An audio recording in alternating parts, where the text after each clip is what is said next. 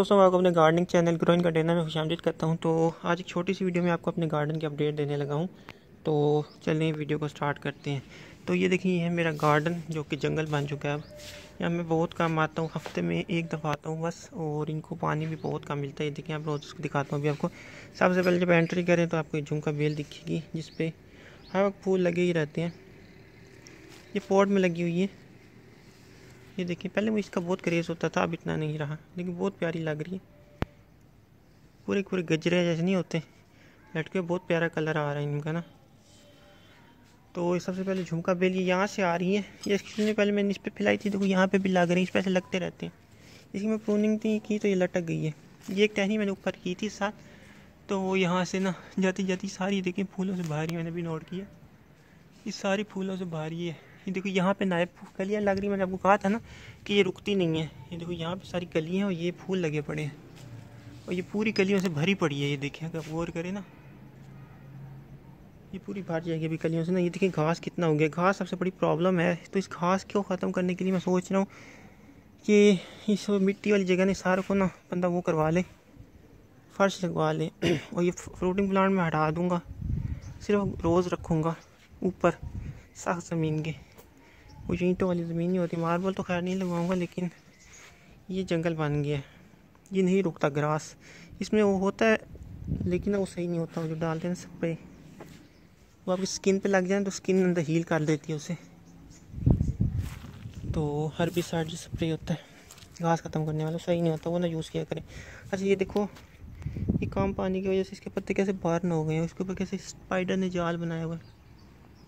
यहाँ पे थ्रिप्स का भी अटैक है स्पाइडर का भी अटैक है, हर चीज़ का अटैक है, कम पानी भी है। ये देखो ये छोटा सा फूल के लिए बहुत प्यारा फूल होता है, पूरे गुच्छे बन जाते हैं बेचारे, क्या आशर हुआ बड़ा।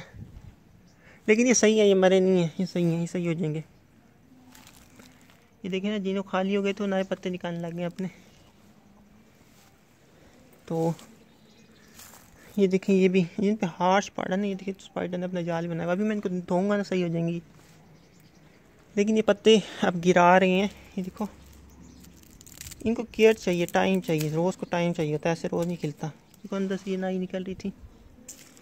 तो हालाँकि मैंने प्रूनिंग नहीं की, लेकिन ये देखिए ये फूट रही है। और ये फूटेगी इस पर थ्रिप्स का अटैक हो जाएगा। तो फिर थ्रिप्स के लिए लेनी है मेडिसन तो उम्मीद करता हूँ कि उसके बाद ये ख़त्म हो जाएगा। पॉलिटीन सील लूँगा, मुझे मिल नहीं रही यहाँ से। तो दूर जाना पड़ेगा, बहुत वो मैं जा नहीं रहा। ये देखिए मैंने यहाँ रख दिया था, एक अपना खजूर का।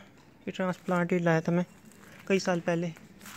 ये बहुत अच्छा खेल था, ये जो है ना देखिए यहाँ घास है कि मैं अंदर नहीं घुसता कोई चीज़ हो अंदर।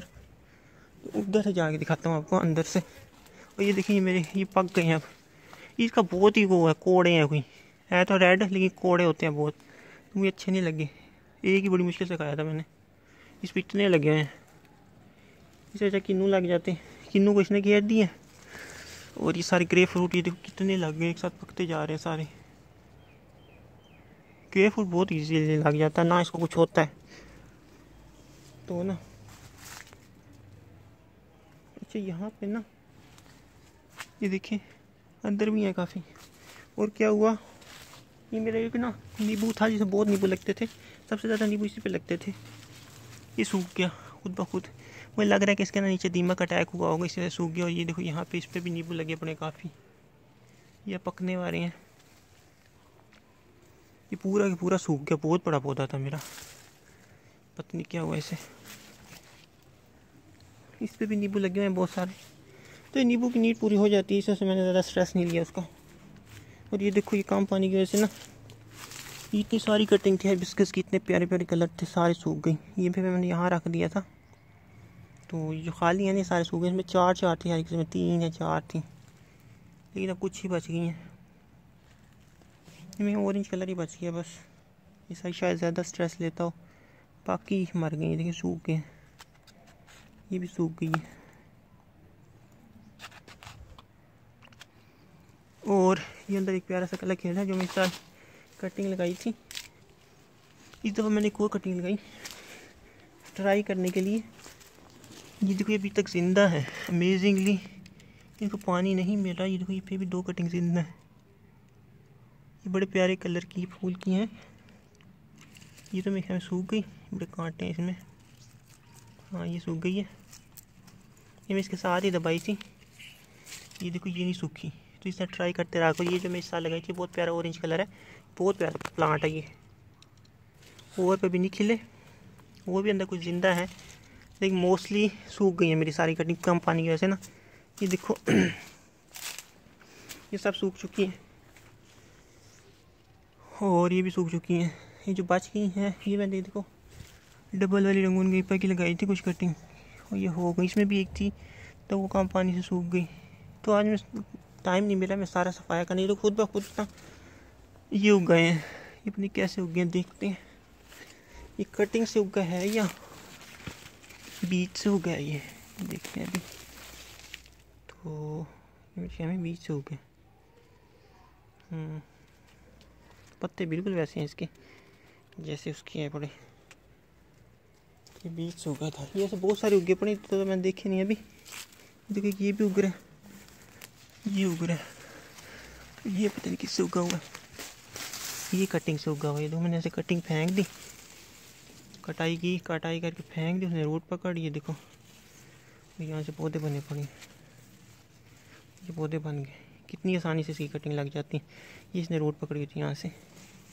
तो सारी सफ़ाई करनी है। टाइम नहीं मिल रहा मुझे। ये बहुत प्यारी हो रही है। देखो कैसे। ये डबल है, पर इसमें बनी तीन कटिंग है। कितनी है? एक, दो, तीन है। ये सारी सूख गई। ये बाकी में जो है ना, ये सीड लेस हैं सारे। जो बच गए हैं वो मैं नर्सरी वाले को दे दूँगा। और इनको भी निकाल दूँगा अब। इतने शतूत नहीं चाहिए। मैं इसको खाली कर रहा हूँ जगह को ना, क्योंकि बहुत जंगल बन गया ये देखो यहाँ भी उगे हुए हैं। ये जगह जगह ही उग गए हैं शतूत तो। ये अब सीट से उगा हुआ था ये देखो, ये सीट से उगा हुआ है, उस पर देखो, ये आ गया नज़र आ रहा होगा आपको। ये है बड़ा नीम टॉर्स ये मेरे शतूत में बीमारी है, ये नीम टॉर्स की ना, हर शतूत में है मेरे। इससे आगे उसमें नहीं था वो जो लाई थी ना, इसमें नहीं था नीम टोड़ अभी तक। ये शायद हो। देख लेते हैं अभी, इसमें है, नहीं, इसमें नहीं आया अभी तक। नहीं, आ रहा है, आ रहा है, ये देखो, यहाँ से ना। आपको शायद दिख जाएगी, इसमें भी आ रहा है। नीम टोर्स ना। ये बड़ा प्यारा लग रहा है, छोटा सा फूल खिला हुआ। और ये देखो, ये काम पानी में सूख गए थे, पूरे। लास्ट टाइम मैं तो सूखे होते इस टाइम आया तो ये देखो नए पत्ते निकालने लग गए। तो इनको ऊपर से प्रून कर दूँगा। और क्या है यहाँ पर? जंगल जंगल है मेरा। तो कभी इतना प्यारा लगता था इतना जंगल बन गया। ये मेरी ग्रे वाइन गिर गई थी। अच्छा ये तो आपको एक और बात बताता हूँ मज़े की। अभी तो नहीं हो रहा ना। ये ग्रे वाइन गिरी थी ना, जो नीचे जो गुलाब थे ना, वो फूलों से भर गए थे। अभी तो ख़त्म हो गए उनके फूल। लेकिन मैं देखा था पूरे भरे पड़े थे। यानी कि शेड में अगर आप इनको रखो ना, गर्मी में तो ये फूल देते रहते हैं। तो ये मैंने कहा आपको बताता हूँ वो देखिए वो कितना बड़ा हो गया। ये सीड ग्रोन है बड़ा वो जी, मेल। देखो कितना बड़ा होता है। ये तो ट्री बनता जा रहा है। आंधी से गिर जाएगा, है गमले में, और फिर ये उठेगा ही मेरे से। जैसे इसका हाल हुआ ये अभी तक मैंने नहीं उठाई। ये ऐसे ही चलिए देखो मैंने इसको काटा था।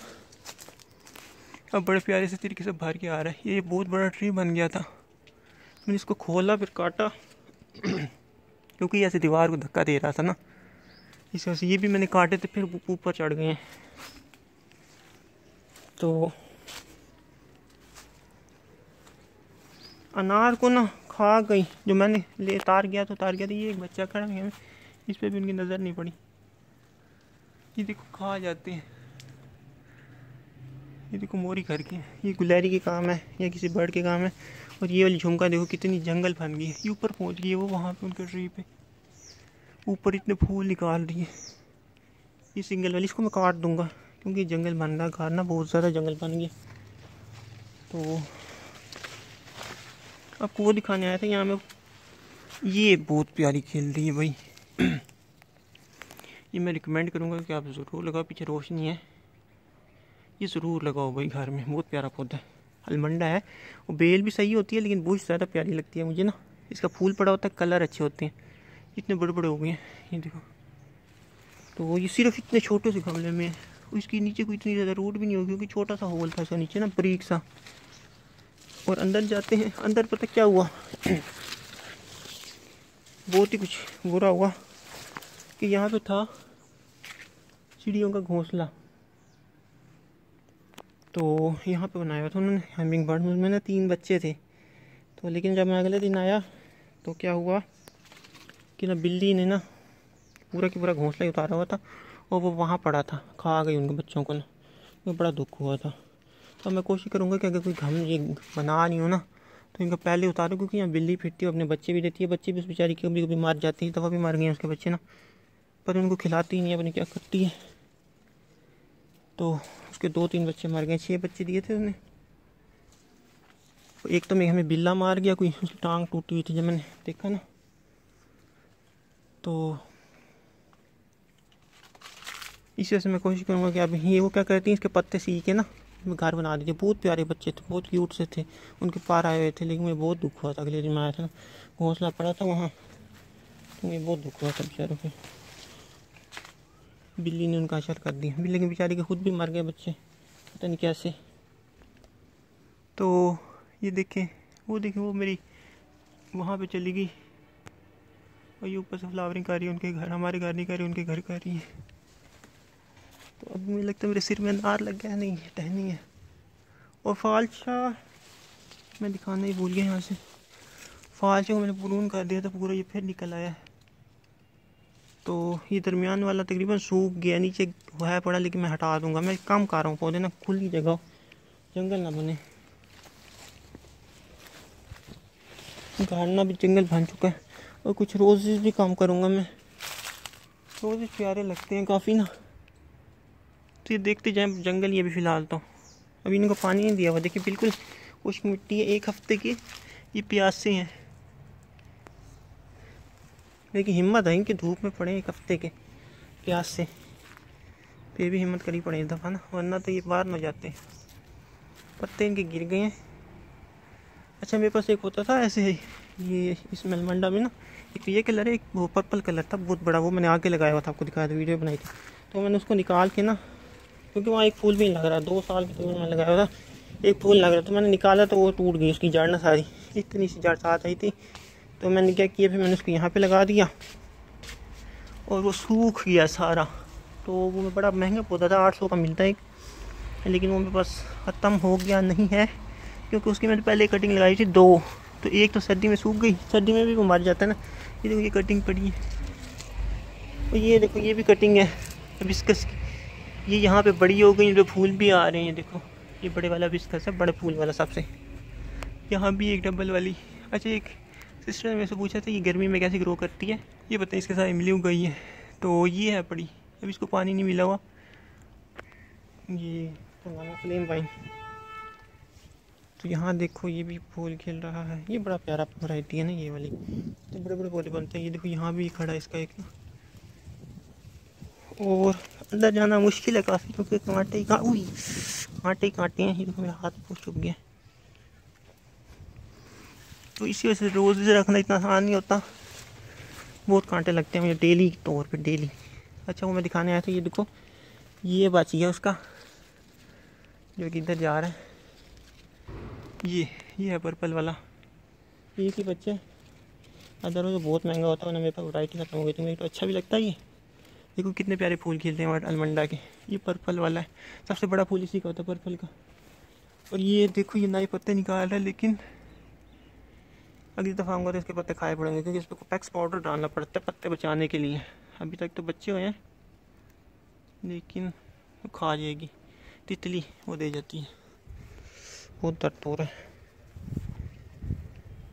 तो ये देखो कितना बुरा हाल हुआ बड़ा थ्रिप्स का उससे। बहुत बुरा हाल हुआ अपना मेरे प्लांट्स का ना। पानी कम, पानी की कमी, बस ज़िंदा है। और पानी की प्यास है इनको। तो बाकी यहाँ भी हैं पड़ी। वो अलवेरा भी पड़ा है, कुछ वो पड़े हैं। काफ़ी है। लेकिन इससे आगे मैं नहीं जा सकता, बहुत ही तंग जगह है। जो कितनी मोटी मोटी इनकी टहनी हो गई नीचे से ना।